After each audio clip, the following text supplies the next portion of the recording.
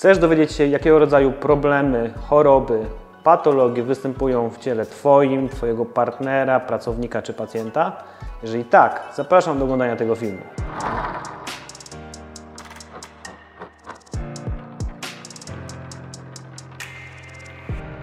We wcześniejszych filmach, które możecie obejrzeć sobie na moim kanale, jeżeli chodzi o czytanie z twarzy, mówiłem głównie o potencjale, który możecie znaleźć na twarzy, o tych cechach, które możecie znaleźć, które mówią o tym, w czym jesteście lepsi, a w czym może jesteście trochę gorsi. Natomiast podczas dzisiejszego filmu pokażę, jakiego rodzaju choroby czy zaburzenia y, narządowe mogą się objawiać właśnie na twarzy i będzie to takie zgromadzenie informacji zarówno z medycyny chińskiej, jak i z medycyny zachodniej. Na co najpierw warto zwrócić uwagę? Po pierwsze, to kolory, które występują na twarzy.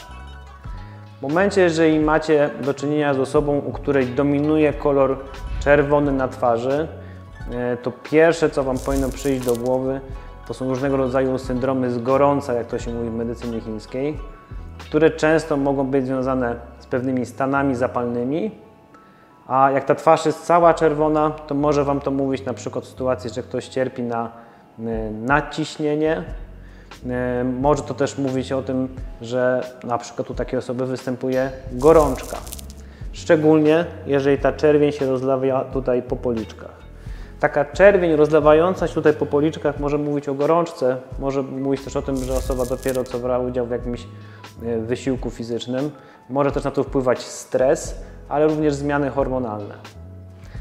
Jeżeli to jest bardzo nasilone ta czerwień tutaj, a wręcz pojawiają się różnego rodzaju e, takie wypustki, to może Wam to mówić o tym, że e, jest na przykład toczeń i to jest choroba autoimmunologiczna i z tym warto się zgłosić do lekarza.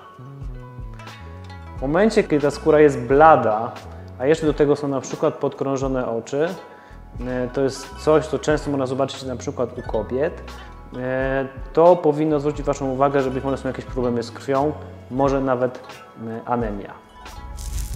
Kolory takie jak niebiesko-zielonkawe występujące na twarzy mówią o bólu. Kolor szary czy czarny na twarzy jest w medycynie chińskiej związany z nerkami. Zwróćcie uwagę, czy twarz Waszych pacjentów, partnerów, znajomych, Wasza nie jest żółta, taka mocno żółta, bo to jest bardzo zły objaw i można mówić o żółtaczce, czyli o patologii wątroby i pęcherzyka żółciowego. Bezwzględnie wtedy się trzeba udać do lekarza. Następne, na co patrzycie, to to, jakiej jakości jest skóra. Czy ona jest sucha, co może Wam mówić o tym, że brakuje nawodnienia w ciele, czy znowu jest przetłuszczona. Następnie patrzcie się, czy twarz jest obrzęknięta, czy też nie. Obrzęknięta twarz może być wynikiem bardzo wielu patologii. Od prostych rzeczy typu niewyspanie, po stres, naciśnienie, choroby tarczycy, choroby nerek czy problemy w obrębie układu pokarmowego. Następnie możecie sobie ocenić według map twarzy, e, które są znane bardzo dobrze medycyny chińskiej i, tej, i tych map twarzy jest bardzo dużo ja Wam przybliżę takie dwie główne. Po pierwsze mapa twarzy związana z pięcioma elementami.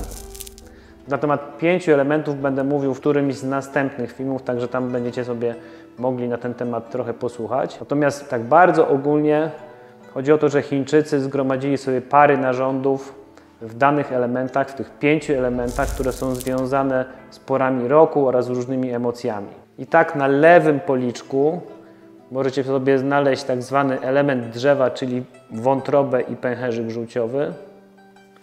Na prawym policzku, jeżeli powstają jakieś na nim zmiany, typu jakieś pryszczyki, czy zaczerwienienia, czy bladość, będą to płuca i jelito grube.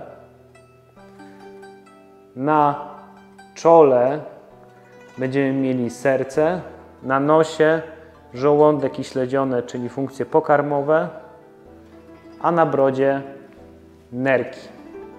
Nerki w medycynie chińskiej związane są, tak jak możecie też obejrzeć podczas filmu o nerkach, są związane również z układem rozrodczym, czyli to nie jest tylko mm, układ moczowo płciowy, ale też układ rozrodczy. Następną mapą, którą możecie spotkać w takim klasyku, jakim jest y, Ling Shu, to jest klasyk medycyny chińskiej sprzed 2000 lat, możecie zobaczyć bardziej szczegółową mapę. Na tej mapie widać, że obszar między brwiami związany jest z sercem. Zaraz pod nim jest, są płuca, na samym nosie, na jego grzbiecie mamy wątrobę, na czubku nosa żołądek i śledzione, podobnie jak po bokach skrzydeł nosa. Pod oczami przy kąciku wewnętrznym, ale zaraz pod nim będzie pęcherzyk żółciowy, przy kąciku zewnętrznym będzie obszar, na którym może się objawiać jelito cienkie. Pod spodem, pod policzkami będzie e, jelito grube. Następnie obszar pod nosem, po bokach to jest pęcherz moczowy oraz narządy rodne. W rynience będą nerki, czyli również układ e, rozrodczy. Nad górnymi ustami, nad górną wargą będzie żołądek, nad dolną wargą będą jelita, a przede wszystkim e, jelito grube. Kolejne rzeczy, na które e, warto zwrócić uwagę, to już nie są do końca mapy, ale pewne cechy, które znajdziecie na twarzy. Idąc po kolei. W momencie, kiedy popatrzycie na oczy, to jest pierwsza rzecz, którą możecie zwrócić uwagę u Waszych partnerów, pacjentów, u siebie. Najpierw się popatrzycie na tęczówkę. W momencie, jeżeli tęczówka jest otoczona takim pierścieniem, jest to znak, że osoba może mieć problemy z cholesterolem albo nawet miażdżycę. Tęczówka w medycynie chińskiej jest związana z wątrobą, więc różnego rodzaju przebarwienia na tęczówce też mogą wskazywać na to, że jest jakiś problem z wątrobą. Białko oka związane w medycynie chińskiej jest z płucami.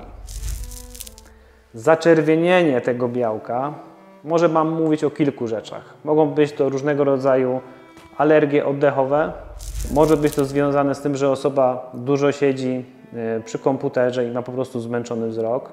Może też to mówić o napięciu psychoemocjonalnym, a nawet nadciśnieniu. Następnie popatrzcie się na powieki, powiekę górną. W momencie, kiedy doszło do opadania powieki jest to stan ostry, a do tego dochodzi jeszcze opadanie na przykład kącika ust, jest to bardzo ważny znak, którego nie wolno ignorować. Taka osoba od razu powinna trafić do lekarza, dlatego że może to świadczyć o tym, że jest porażenie nerwu twarzowego albo gorzej, nawet udar mózgu. Natomiast jeżeli to opada tylko powieka i osoba oprócz tego nie ma żadnych innych objawów, najczęściej mówi nam to o tym, że jest jakiś problem y, z układem pokarmowym i warto zadbać o dietę oraz o odpoczynek. W momencie, jeżeli powieka drga, może nam to mówić o pewnych niedoborach, jeżeli chodzi o magnez. Natomiast jeżeli mimo suplementacji magnezu to drganie się cały czas pojawia i zadbaliście też na przykład o odpoczynek i o sen i o to, żeby zniwelować trochę stres, warto udać się do neurologa, dlatego że może to świadczyć o pewnych chorobach układu nerwowego. To, na co jeszcze zwracamy uwagę, to jest to, czy na twarzy się nie pojawia jakiś grymas, czy jakieś tiki, które mogą nam mówić e, zarówno o tym, że jest jakiś problem z układem nerwowym, jak i jakieś pobudzenie psychoemocjonalne. Dolna powieka. Jeżeli macie zaczerwienienie na górnej krawędzi dolnej powieki, może Wam to mówić o wypaleniu nadnerczy. Kącik wewnętrzny oka, tutaj widać kawałek śluzówki. Jeżeli on jest blady, to może Wam mówić o tym, podobnie jak blada skóra i blade wszystkie śluzówki, że jest jakiś problem z krwią, czyli może być również niedokrwistość, czyli e, anemia. Wypukłe oczy. Bardzo ważny objaw, e, którego nie, nie można ignorować. W momencie, kiedy widzicie, że te oczy tak mocno wystają, to może świadczyć o chorobach tarczycy. W momencie, kiedy popatrzycie się na obszar pod oczami, to jest coś, co bardzo często kobiety sobie tuszują pudrem, żeby tego nie było widać. Natomiast jest to obszar, który bardzo wiele mówi. Zaciemnienie w tym miejscu może mówić o tym, że są problemy z nerkami. Zaciemnienie w tym miejscu może również mówić o różnego rodzaju alergiach pokarmowych i nietolerancjach pokarmowych. Mam tu na myśli to, że jecie rzeczy, które Wam nie służą i warto pewne rzeczy powykluczać z diety albo sprawdzić, na co jesteście e, uczuleni. W momencie, kiedy te oczy są takie podpuchnięte i podpuchnięte powieki, może to świadczyć o tym, że osoba ma problemy ze snem, warto zadbać o sen, ale może też mówić o tym, że są jakieś problemy, jeżeli chodzi o trawienie. Schodząc niżej, mamy nos. Jeżeli nos jest podpuchnięty, tłusty, taki duży, nabrzmiały, to zawsze nam będzie mówić o tym, że są jakieś problemy z trawieniem. Tak naprawdę w większości przypadków, kiedy będziecie się spotykać z jakimiś obrzękami gdziekolwiek, to pierwsze, co Wam powinno przyjść do głowy, to to, że jelita nie pracują tak, jak powinny. Okolice nozdrzy, nozdrza są związane z układem oddechowym, więc na przykład jak mamy blade nozdrza, to mówi nam o tym, że ten układ e, oddechowy nie działa do końca tak, jak powinien. Policzki. Jeżeli pod policzkami jest tak dużo skóry, która jest obwisła, to tak jak mówiłem wcześniej, źle pracujący układ pokarmowy. To przychodzi tak dosyć moim zdaniem intuicyjnie. Następnie usta. Jeżeli usta e, są zaczerwienione, no ważne, żeby osoba nie, używa, nie używała szminki, może nam to mówić o pewnym stanie zapalnym w układzie pokarmowym. Być może dotyczy to jamy ustnej, a może nawet e, żołądka czy dalszych jego części. W momencie, kiedy usta są nabrzmiałe, niepełne, nabrzmiałe, to może nam mówić o tym, że układ pokarmowy jest niewydolny. A jeżeli nabrzmiałe są boki ust, to znaczy, że niewydolne e, jest jelito grube. Warto zwrócić uwagę na to, co się pojawia na ustach. Macie choroby wirusowe, takie jak opryszczka, która się pojawia w postaci takich ran na ustach. No wtedy trzeba udać się do lekarza, no i świadczy to oczywiście o jakimś osłabieniu odporności. Mogą się też pojawić zajady, czyli takie rany tutaj na brzegach ust, które świadczą o pewnych niedoborach, głównie witamin z grupy B i witaminy C. Schodzimy sobie niżej. Broda i żuchwa. W momencie, jeżeli tutaj na brodzie oraz na żuchwie, szczególnie u kobiet, pojawiają się różnego rodzaju wypryski, mówi to nam o pewnych nieprawidłowościach hormonalnych. Podobnie, jeżeli u kobiet pojawia się owłosienie pod nosem. Kolejnym elementem, który będzie y, dla Was y, dostępny na twarzy, tylko osoba musi otworzyć buzię, będzie jama ustna. Na co zwracacie uwagę? To, co macie dostępne, to są śluzówki. Blade śluzówki, znowu, powinny się Wam skojarzyć z jakimiś problemami z krwią, być może niedokrwistość, czyli anemia. Zęby.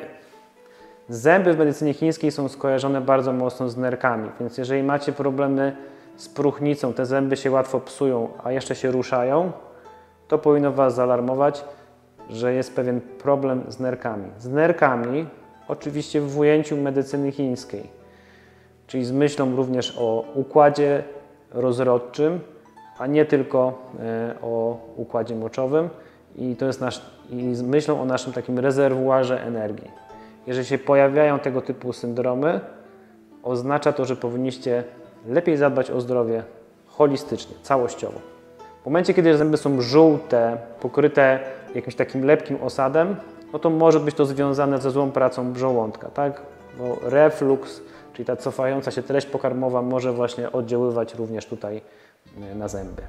W momencie, kiedy oceniacie siebie, swoich bliskich, swoich pacjentów, zawsze warto szukać oczywiście tych pozytywnych cech i przede wszystkim ludzi nie straszyć. Są pewne cechy na twarzy, o części z nich mówiłem, które wskazują na to, że mimo tego, że pojawiły się różnego rodzaju choroby, to osoba ma duży potencjał do tego, żeby się zregenerować, jeżeli e, wykona pewne zalecenia. Zalecenia są dobrze znane, oczywiście, w zależności od tego, z jaką chorobą mamy do czynienia. Jest to lepsze zarządzanie stresem, dbanie o sen, więcej aktywności fizycznej, dbanie o dietę itd. Tak Natomiast na co warto zwrócić uwagę? Po pierwsze, to jest ta genetyka tak zwana, o której mówiłem e, w filmie o tym, żeby zwracać uwagę na to, jak ta twarz wygląda pod względem kośćca. Jeżeli mamy mocne rysy, mocny kościec, mówi nam to o dobrych genach. Rozstawione zęby przednie. Bardzo dobra oznaka. Silne brwi. To wszystko mówi nam, że osoba ma dobre geny i nawet jeżeli, jeżeli się rozchorowała, to, to szybko sobie z chorobą poradzi. Kolejna rzecz, to jest bardzo ważne, żeby twarz nie była matowa. Twarz powinna w pewien sposób błyszczeć, tam powinien być jakiś błysk. To mówi nam o tym, że ten stan jeszcze nie jest jakiś bardzo zły. W momencie, kiedy mam do czynienia z twarzą matową, no to mówi nam o tym, że ta osoba już jakoś przewlekle choruje. I że dojść do siebie, dojść do siebie pewnie dojdzie, ale będzie to trwało trochę dłużej czasu. Ostatnia i jedna z ważniejszych rzeczy, jaką mm, opisywali chińscy medycy, to jest tak zwane shen. Shen to jest obecność ducha czy duszy. To jest to, że patrzymy się komuś w oczy i widzimy w nich życie. Bardzo często jest tak, że choroby, nawet cierpiące na bardzo ciężkie choroby, takie jak nowotwory, jeżeli jest to życie w oczach, to jesteście w stanie z taką osobą pracować i ją z tej choroby wyprowadzić. Najgorszym omenem jest, kiedy widzicie, że osoba nie ma życia w oczach, unika waszego wzroku, a ten wzrok jest taki matowy. Bo to często może świadczyć o tym, że tam już nawet nie ma tej woli do życia. Mam nadzieję, że film Wam się podobał. Zapraszam, jak zawsze, do subskrypcji kanału Droga Środka, do udostępniania, do komentowania, no i zapoznania się z resztą treści. Do zobaczenia.